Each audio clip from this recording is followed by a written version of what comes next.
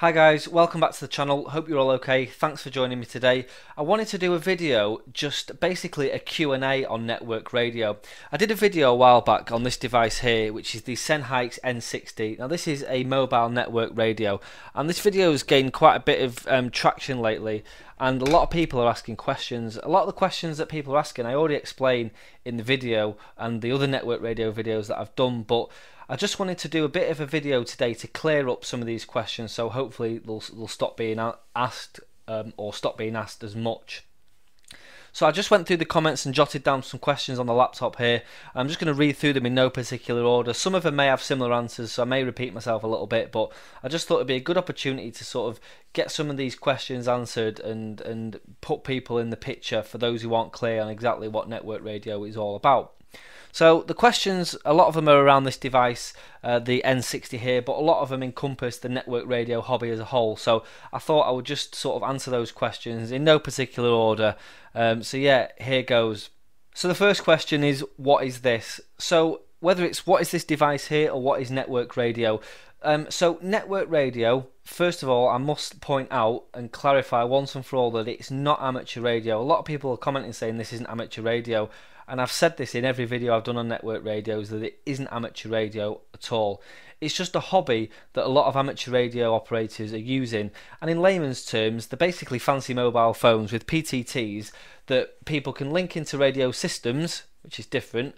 Um, they can go into Echolink, they can go into Zello and basically use VoIP or voice over IP apps to talk to each other. It's as simple as that. So it's not VHF, it's not UHF, it isn't HF. Although the technology is a radio because a mobile phone is a radio. It runs on the similar principles to radio. It isn't amateur radio, and we're all like fully aware of that within within the network radio's hobby, and that it's not amateur radio. That that sort of seems to come up a lot, and I've, I've said in every single video that it's not amateur radio, and we're fully aware of that.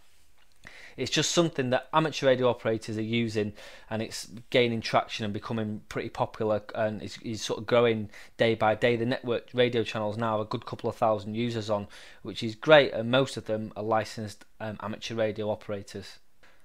Um, second question on that video was how do I order one of these? So if you want to order this Senhaix N60, then go to the Senhaix website. I'll put a link in the description or just down below on the screen here, um, and go and speak to the guy at Senhaix, and they will um, sort you out with ordering one. And they do sell them on other stores like AliExpress, um, eBay, and things like that.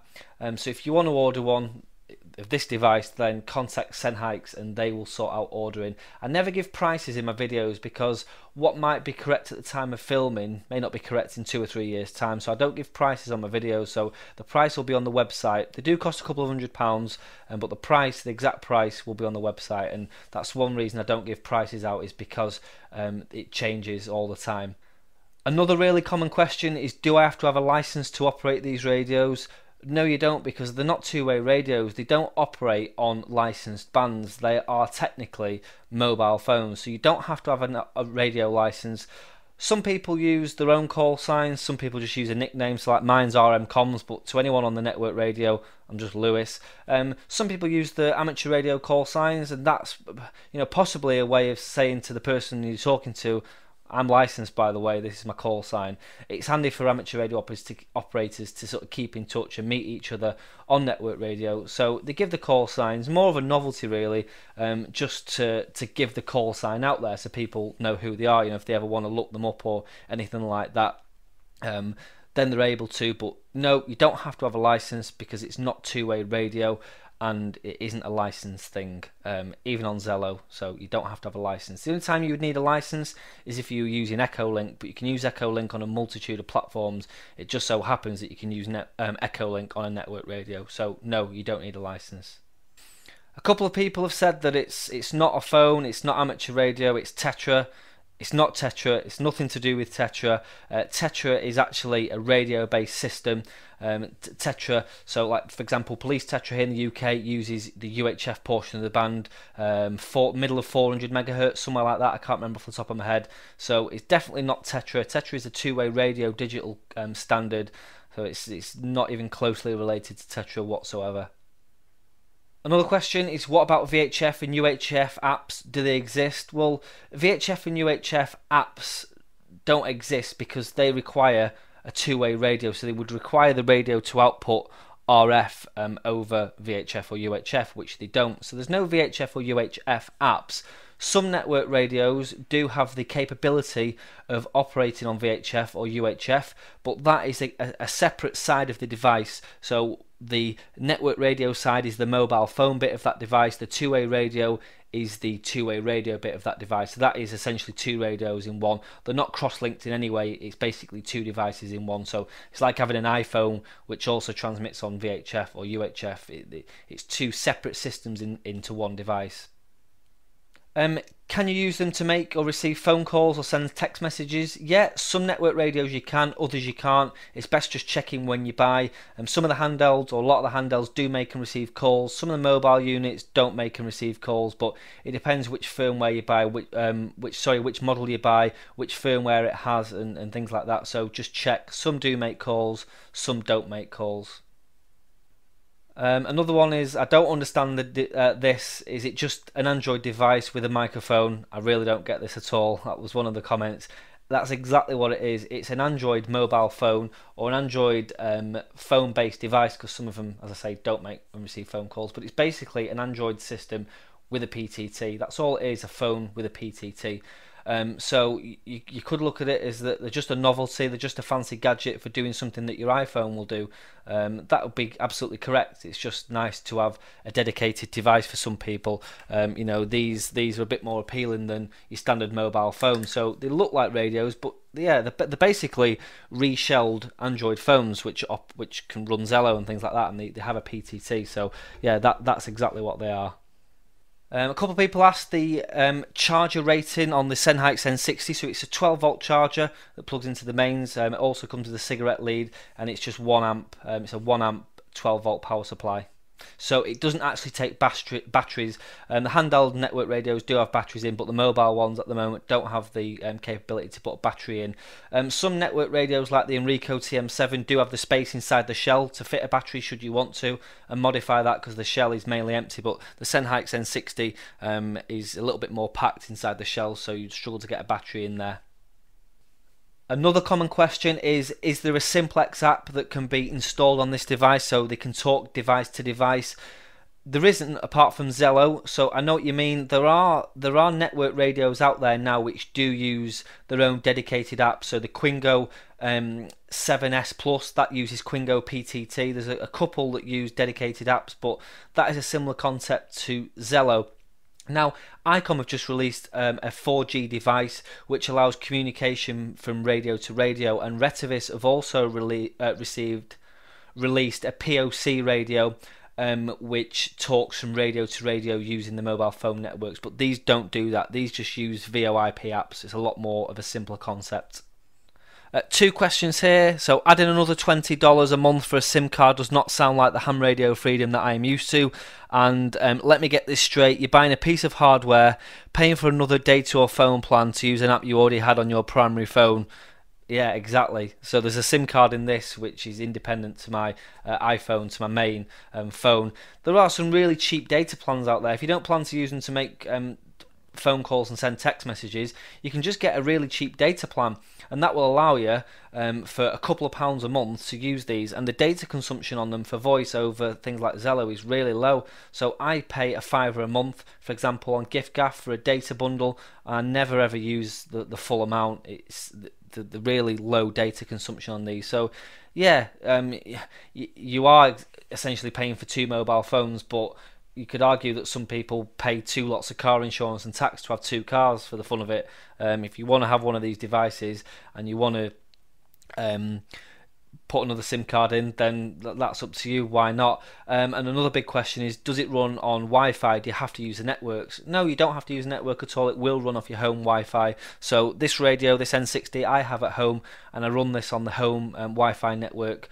Uh, so yeah, it, it, does have a SIM card in because I've been doing some testing um, and I, I use that in a couple of different network radios. I actually have a couple of SIM cards that I, I, I swap between the two or three devices. I've, i think I've got well quite a few now.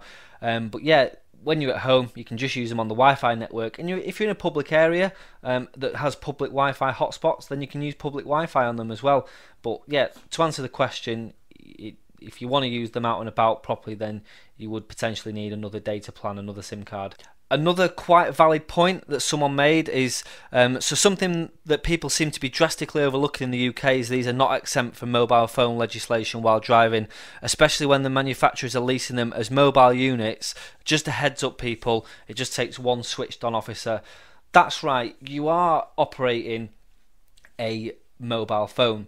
So the use of radios is allowed in the UK uh, behind the wheel because the police use radios, taxi drivers, a lot of those use radios, lorries use radios, CB is legal in the car, and your amateur radio um, license, uh, your amateur radio uh, equipment is legal to use in the car. Now, a police officer probably would not notice if you're using a mobile network radio as a radio device, unless they're into amateur radio or they happen to have seen them, which is unlikely. The issue you've got is, firstly, if you're using a handheld, you are likely to draw more suspicion because they will see quite a, a larger device in your hand as you're driving. If you've got the microphone there, then you, you probably get away with it, and if you were stopped, you probably you probably uh, be okay, but it doesn't make it right because it's a technicality. These operate on mobile phone frequencies technically, so you are technically breaking the law by using this whilst driving. Now, you're more likely to be pulled over and done for driving without due care and attention or dangerous driving as a result of using that, rather than someone saying that is out of band for what is legal in the UK, because an officer generally isn't going to know. But if he's pulled you over, the chances are he's probably pulled you over because the use of the network radio behind the wheel is affecting your driving, i.e., you're not concentrating properly, or he feels that you using that device could cause you to not be in proper control of your vehicle, and that is that is what you're more likely to be to be done for uh, for driving without due care and attention or dangerous driving. But yeah, if you are going to use these, there are risks involved because it's technically not legal, which is why I don't have my mobile network radio in the car at the moment. On the other hand, there are devices that you can use like multimedia buttons and Bluetooth switches, um, the thing that operates your mobile phone when it's on a selfie stick. You can buy those for you know relatively cheap costs on eBay and Amazon and things like that, and you can use those to key up the radio via Bluetooth. So you could attach it to the steering wheel or the gear shift of your car and key up via Bluetooth, which is a more safer option. Um, the microphone does have reasonable gain on it, so if you had the microphone sort of out of sight, um, you wouldn't be seen using it, and you'd still be picked up on Zello, and you wouldn't have any issues with the volume. But it's it's up to you guys. Um, I don't use mine in the car, um, just just in case. As I say, they don't fall into UK laws for operating um, behind the wheel. It is a technicality, as I say, because of the frequencies they operate on. So just be careful. Um, you may not be done for using a mobile phone behind the wheel, but as I say, if it does affect your driving, there are other penalties that you could um, incur. So that's just one to watch out for. So I'm not advocating hiding the microphone out of the way, but just it's just one to watch out for. And the last one is um, I want to start a Zello account. Should my username be my ham call sign? If not, when would my call sign come into play? So your Zello username can be anything you want because you're not on the amateur radio bands, so it doesn't matter. Um, even if you were going into a Zello interface to a repeater, for example, in the UK, your radio call sign or whatever your Zello username wouldn't wouldn't be any part of that, i.e., that wouldn't be transmitted over the air. So if you were using a closed group on Zello that was linked into a UHF repeater, for example, you, was, you would have to use your call sign because you're going into that repeater. But for Zello to Zello communications, you don't have to use a call sign whatsoever. Like I say, a lot of people do choose to use the call sign. So when they're talking, you know, people can say, "Oh yeah, that's G7XYZ," for example. Um, yeah, it's just a way of amateur radio operators putting the call signs out there, but it doesn't have to be done.